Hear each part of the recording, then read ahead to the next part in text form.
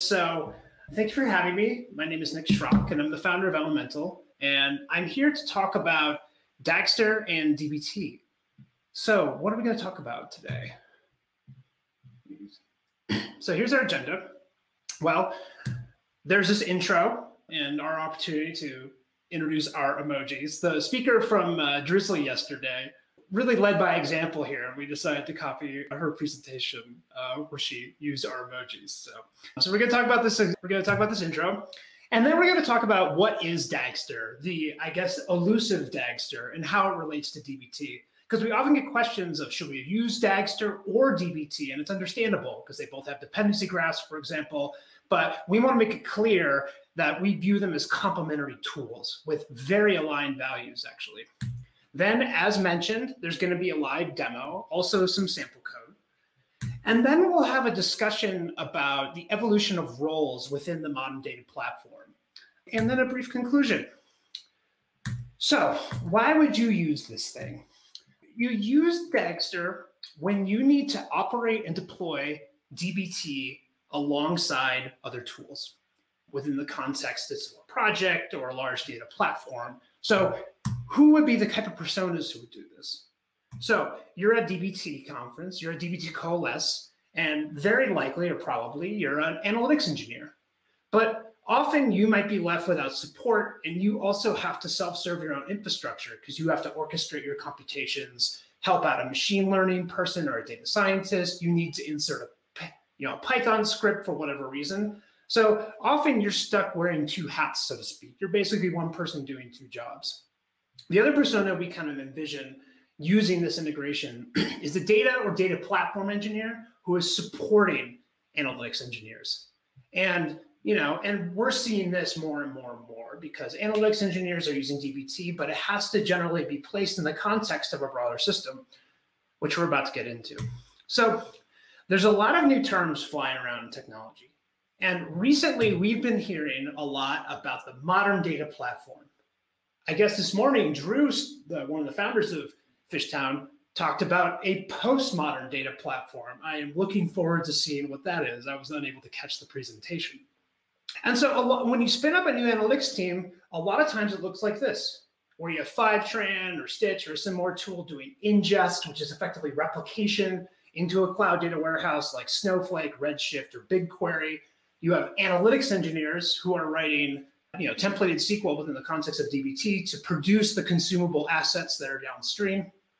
And then you have that is then consumed downstream by tools like Mode or other BI tools, which interface directly with the cloud data warehouse using SQL.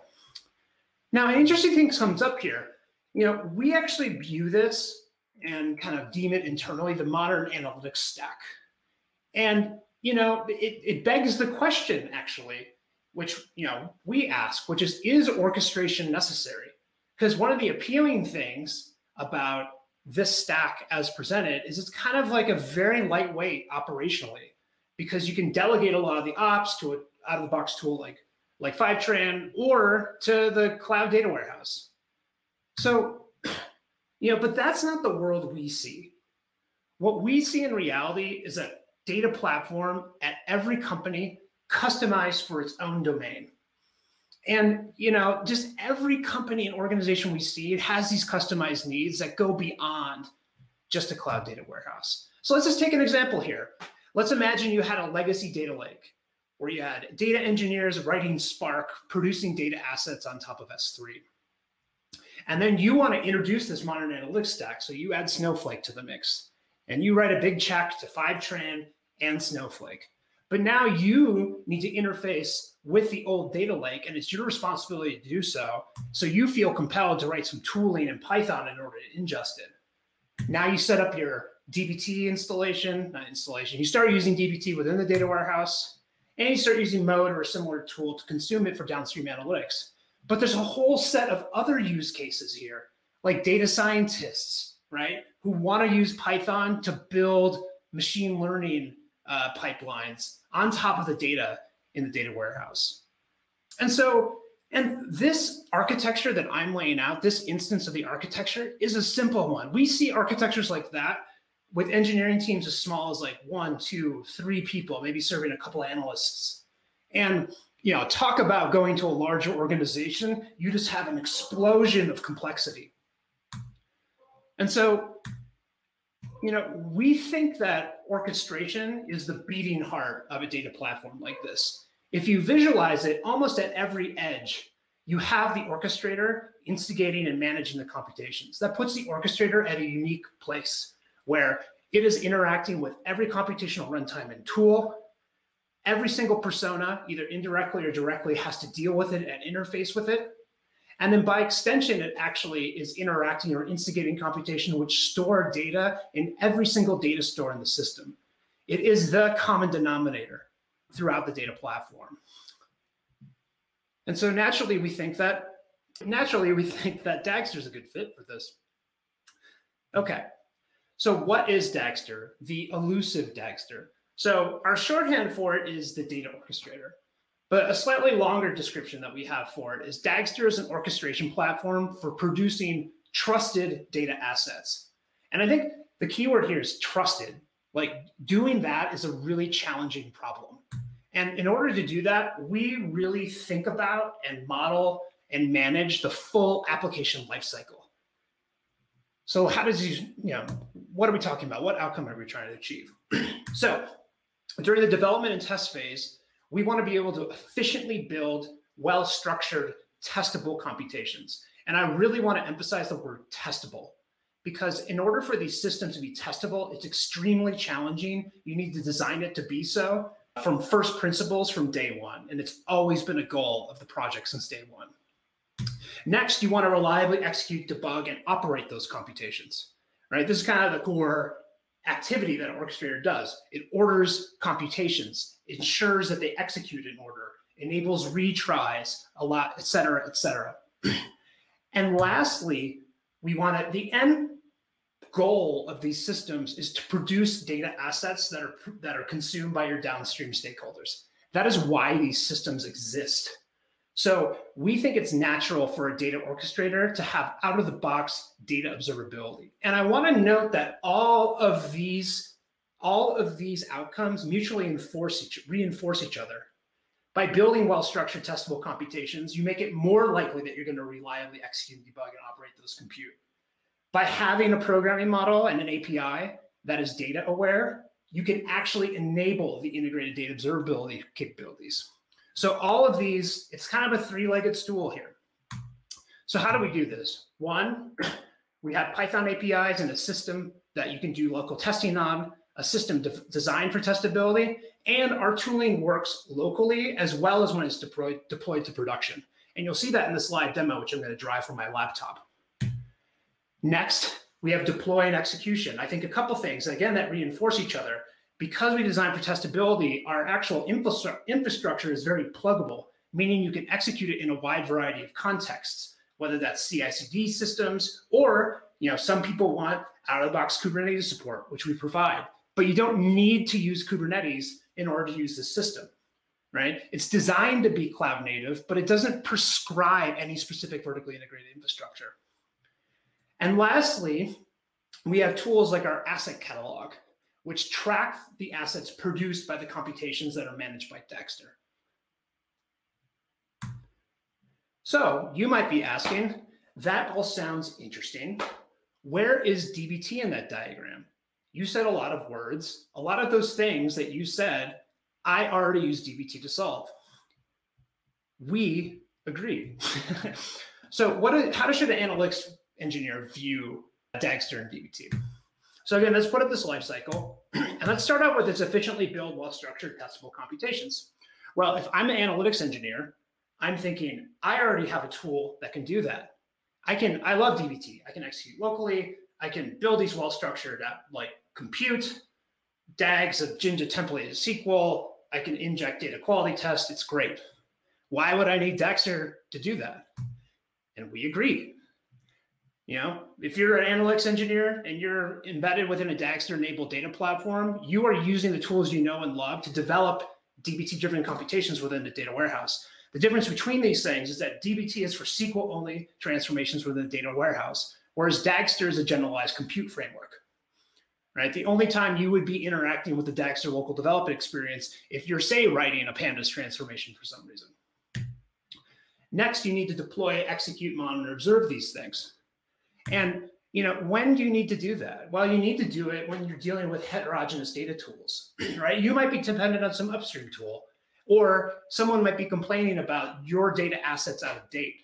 And really, a focus of Dagster is enabling folks like analytics engineers to self serve ops in these cases where something has gone wrong.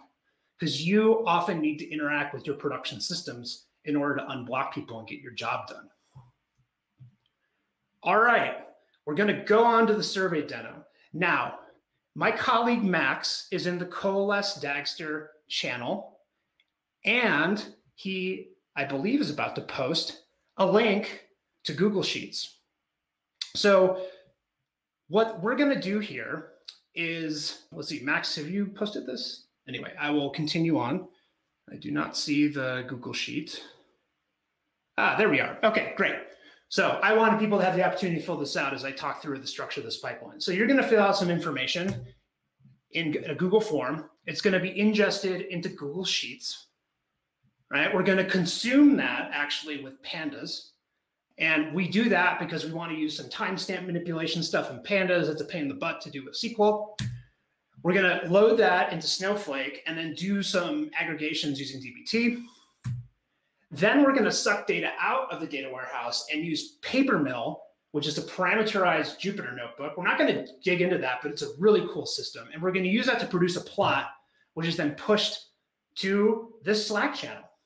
Okay. And then the data is stored in Snowflake and in S3. All right. And we're going to do it live. So here we go. So this is what our tool looks like. Okay. So here's a pipeline me. There we go.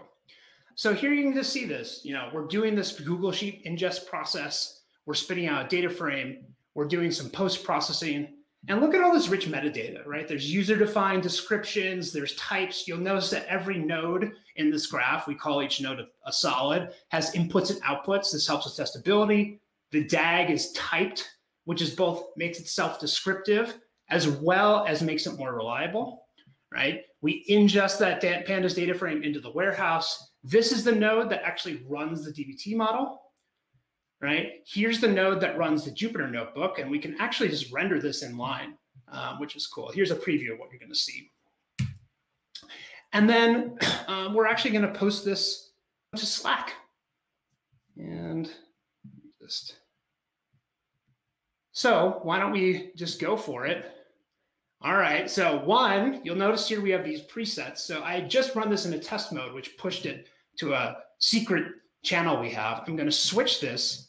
And you notice that these pipelines are configurable, right? So you can parameterize them and run them in different contexts. And this config system, I'm not doing a deep demo of it, but it's actually fully typed and self-describing, which is just super, super powerful. So now we're going to launch this and wish me luck. So when we launch, when we launch, here we go. So we're using this multi-process. Well, here, this is the Gantt viewer. So what we're doing is this is the DAG we're going to execute. And you'll see this is a live updating, beautiful UI that gives you live execution of what's going on. This works both locally and in prod. Now, each one of these, this blue stuff is, you see this thing, it's preparing. This is because we're using the multi-process executor which spins up a unique process for every single step in the system, right? And that, may, that gives it process isolation, et cetera. It incurs a little spin up time. So here's this. Actually, I'll just show you the. Watch this. This is nice. I'm going to show this and see this structured event log. So this is much more than just unstructured logging, which I call developers thinking aloud. This is actually a structured event logs, and we can do stuff like here. We can view a preview of the data that was flowing through the system. Note this timestamp over here. And then we can say, oh, the output, oh, great, it's telling me how to spell things. And then you can see the munge data over here, right? So you can just get a sense and observe what type of, you know, is your stuff actually working? And often a sample data is sufficient for that. Okay, well, the DBT run is logged I went a little slow, so it didn't show the live updating log, but it actually worked. And now you'll notice that our integration emits different structured events, right? So what this does is this is emitting an event for every single model in your DBT graph. And it's, it's emitting all this interesting structured information about it. And now we can go over here, right? And now we have all this interesting information. You can see this is the run that last touched it. It's still running. You can see what's going on. As you go down here, you know, and you, you can see familiar concepts, right? Like it's materializing this as a table. Here's the database, here's the schema, et cetera, et cetera. Now you can go down here and there's all this information. So for example, we can kind of give it away here. You can see that around 6.30 this morning, I woke up and ran this a couple times. Then I had a meeting with a colleague and ran it a few times, et cetera, et cetera. And then look here, it just shows you, you know, all these nice mouse overs. Anyway, this is a really nice observability tool. And you can do things like, let's say we wanted to look this up, right? You can just hop directly to it and you can see what information, you can see information about your assets. All right, let's go back to this. And we've executed now. And now I'm going to go to another step where we're posting to Slack. And I'm actually going to filter this down to materializations. And we've actually executed the notebook. And now we've pushed this to our Slack channel. Now we go here. Open this up. No, I need to open up the link. And here we go. Here's the information about where folks are coming from. It looks very US centric, but I think there's a little action here. I believe that's, is that Angola? I'm going to betray myself there. But anyway, so we have a live demo and let's see if it posts to Slack. There we go. Okay. Well, thank heavens that worked. That's always terrifying. So let me just quick go through what code looks like that enables that. So let's look at this DAG, and I'm just going to quick show some Python code examples, what this looks like, just so you get a sense. This is no means a tutorial. So this is our DAG structure. In order to define this DAG, we call it a pipeline. You know, we actually, all of them take inputs and outputs. So we actually just use Python syntax to, to flow the data through this pipeline, right? It's very straightforward and intuitive. So this is actually constructing the DAG. Next, we have these solids, right? This is our node in our graph. And solid is kind of the leaf node, which performs actual computation. You'll see here it's a function that takes a data frame, produces a data frame, and then it's just performing some compute. So you can see this infer datetime format as a capability in pandas that we want to use. And then to integrate with DBT, we have a library that was community driven and then donated to our mono repo. Thank you very much, David Wallace. And here you can just you know take the CLI run solid and point it to project and profiles, and you are off to the races. So just wanted to quick go through. I made this claim earlier that DBT and Dagster have highly affined values. And just want to go through this quick. So again, the difference between them is that DBT's domain is exclusively SQL, Jinja templated SQL, and Dagster's generalized compute in Python. So if you have these different concepts, we have functional compute dependencies. In DBT, it's the models, which are defined by select statements. You can just think of them as functions, and they're dependent on other models via the ref syntax, and that forms your dependencies, right? Dagster is very similar. You have solids, which are meant to be effectively just, you know, uh, pure business logic, and then they have logical inputs and outputs, right, which would be similar to models. Next, really focus on fast dev workflow, right? In DBT, you can view DBT docs locally.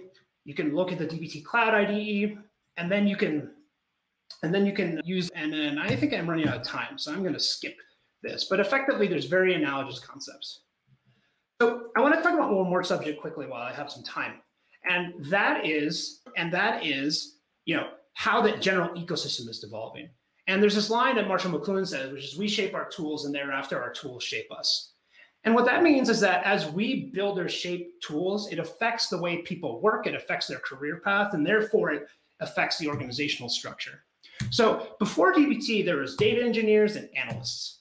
And in order to deliver end-to-end capability, the analyst actually had to talk to a data engineer in order to get a production asset produced. And this formed what uh, some people have deemed data bread lines. So here's a bread line. Uh, it's a big line of people waiting for bread.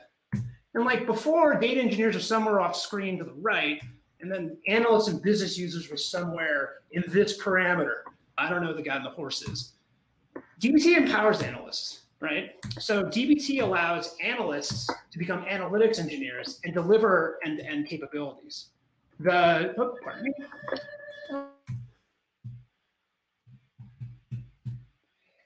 Data engineers are responsible for the core assets and the infrastructure, and analytics engineers are responsible for all the consumable assets in the data warehouse, right? But this is not a complete picture of what's going on. What we're seeing, just how similar that you know that most data platforms consist of heterogeneous tools. There's also many, many different roles or jobs happening within a data platform. And by, by job, I mean like it's your job to produce an asset, it's your job to do an ML model, it's your job to produce the platform. So if you think about this, you have data engineers responsible for maybe some core assets. You have analytics engineers, you have DBT, data scientists, other subject subject matter experts. They're responsible for delivering assets. And then you have this emerging category of people who work exclusively on the platform right? They are setting up everyone else to be successful within the context of their tool. But this current status of things is this is usually aspirational. There's a lot of problems here, right? Let's go back to our data breadline, right? This original breadline was about the data assets themselves, tables, columns, et cetera, et cetera. But there's this whole other domain, right? Right now, often there's an ops breadline where the moment that something goes wrong, analysts and business users kind of fall off a cliff here right? And they need to go to the data data engineers in order to like deal with their ops, right? We view Dagster as an empowerment tool on the ops dimension. It allows you to look up your stuff, see what pipeline last touched it, see what run last touched it. It's super, super powerful. You know, just wanted to find end some final words about, you know, if you were to take away one analogy about how to relate these two technologies, you know, I was kind of inspired by the Apple M1 launch. I'm very excited for have a laptop that I don't have to put in my refrigerator. That's literally true. I've had to do that in order to get it to run. But you know, I thought I had a great analogy where like there's this overall machine that orchestrates computations, and there's lots of specialized co-processors. And I think that's what's happening in the data landscape today. So if the data platform is the machine, DBT is like the analytics GPU it performs a really important, huge subset of the computations that are critical to the functioning of this thing, but it's domain specific and very powerful. And this all has to be governed by an orchestrator, right? And DBT and Snowflake show up in the GPU, but then there's this whole other universe of other co-processors, right? There's all these other tools that exist either for fundamental reasons or for legacy reasons. And like this is kind of the analogy that I feel is making sense to me. So to summarize here, DBT and Dagster are complementary systems. And you know, I kind of view DBT as the analytics GPU in the machine. This allows one of the core values to analysts and analytics engineers, it allows them to self-serve ops, right? So you might be asking, listen, I don't think I'm ever going to write any Python why is this thing good? Why is this thing important? And the answer is that we think it will enable you to self serve your ops. And a lot of our early users have seen that promise. And this is because it has friendly UI, parameterization. You can look up the asset very quickly that you're dealing with or debugging. And then lastly, for those who are working in Python, it allows engineers to build awesome pipelines. You know, actually i got incredibly excited preparing this demo because i really hadn't internalized how much better our tooling had gotten. And so i really think it's a really awesome experience. And you know it's uh, really fun to build stuff in this system. And your dags are typed they're configurable they kind of designed to be testable. And you know it's really fun stuff to build. So thank you so much for having me here.